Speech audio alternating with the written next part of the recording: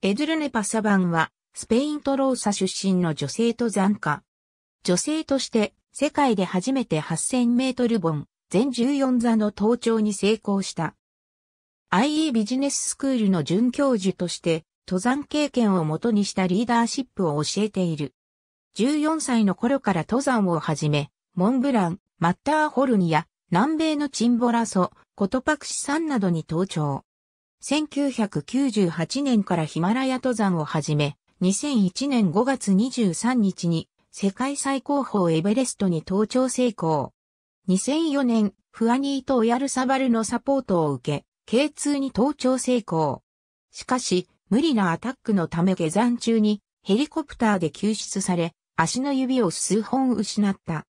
2005年7月20日、ジョブの不可能との極限という番組のチームとしてパキスタンのナンガパルバットに登頂成功。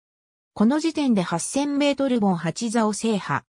その後、2007年にブロードピーク、2008年にダウラギリ、マナスル、2009年にカンチェンジュンガに登頂し12座を制覇。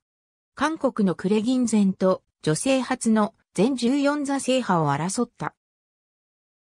2009年9月7日、エドルネ・パサバンはライバルであるクレギンゼンについて、彼女が女性初の8000メートル本14座制覇を達成するだろうと記者会見を行った。2010年4月17日、アンナプルナに登頂し13座を制覇。その10日後の4月27日、全14座制覇まで、あと1座と迫っていたクレギンゼンがアンナプルナに登頂し、女性初の偉業を先に達成された。しかし、クレギンゼンは2009年に登頂したとされる、カンチェンジュンガに実際には登頂していないのではないかという疑惑が持ち上がっており、その登頂は大韓山学連盟に否定されている。2010年5月17日、死者パンマに登頂し、8000メートル本、全14座の登頂に成功した。